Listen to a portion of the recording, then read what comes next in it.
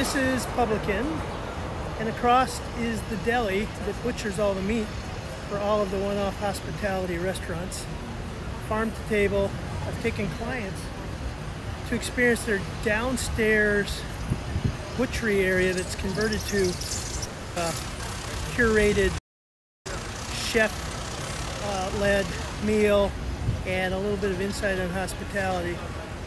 So I'm going to go here because I like to go to places that I know, I've had experience with and relationships with, and PQM is wonderful.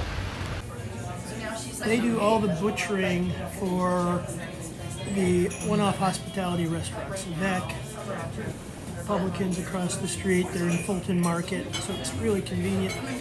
But it's a unique place. I'll show you some of the sausages they provide and the cost. It's also featured in this TV series called The Bear. It's about the restaurant scene in Chicago. I've met one of the owners, Donnie Madia, and I hosted clients downstairs, so we can go downstairs right here, and they have an evening event called the Butcher's Table.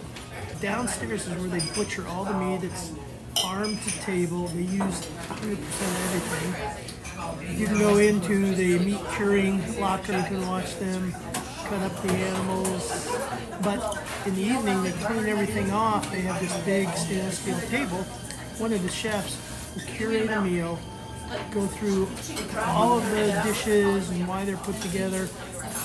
But any company that's looking at the hospitality experience, this is a great live workshop and a good meal at the same time.